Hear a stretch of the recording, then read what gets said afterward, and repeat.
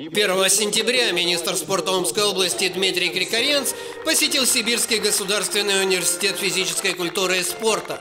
Он принял участие в торжественной линейке, посвященной началу учебного года. Сегодня, присутствуя здесь, э, мне традиционно очень приятно видеть светлые лица наших студентов и прославленных спортсменов, и людей, которые просто искренне хотят овладеть этой непростой, но очень важной, на мой взгляд, профессией.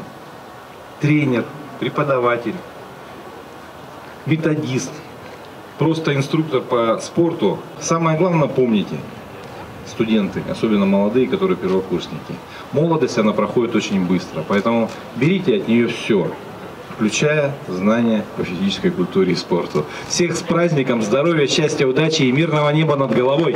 Ректор Сибгувка Олег Шалаев назвал предстоящий учебный год и вообще ближайшее время периодом больших перспектив.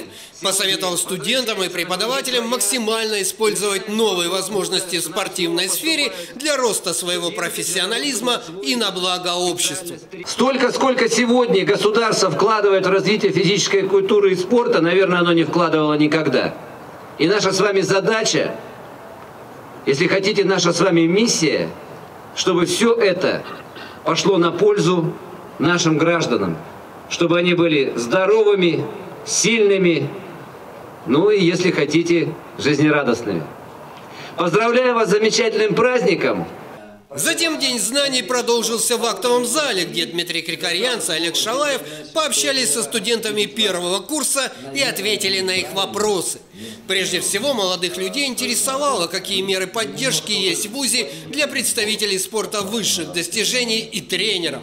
Среди студентов нашлись те, кто уже сейчас хочет развивать отдельные виды спорта. Я работаю тренером э, Омской области по керлингу, тренирую детей. И вот для меня вот это очень важно, чтобы больше народу знало об этом виде спорта. Я его продвигаю. Я хочу, чтобы э, больше детей ходило, больше студентов в это были вовлечены, потому что вид спорта действительно очень интересный, развивает и координацию, и ум, и много других э, спортивных качеств.